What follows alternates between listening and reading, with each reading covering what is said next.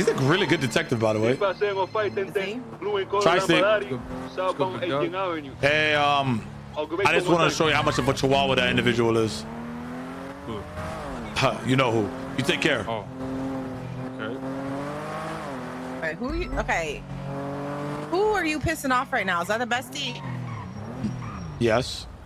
Okay. Got on lap. They're not gonna do anything. The besties don't do shit. Are you? Ki- Only future. Future Future's not around. shit.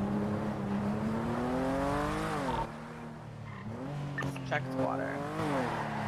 Knock tips.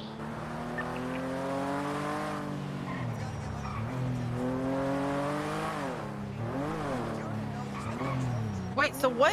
What did you do that pissed them off exactly? Who? Which one? Which one? Besties. Uh, the besties.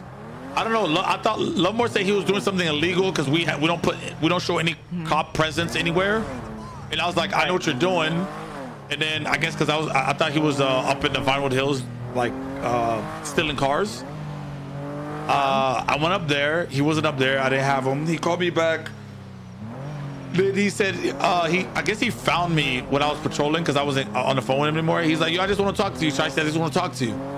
And then I pulled over in Legion Square, asked for backup, sat there with my gun out. He's like, what's going on? And then he, he didn't do anything. It just it looked like it was a setup, you know? All because something about po- police. Pol- yeah, police presence. I think Dead you're leaving out a lot of details. I promise you, he called me a bitch, and I and I, I was literally talking about police presence.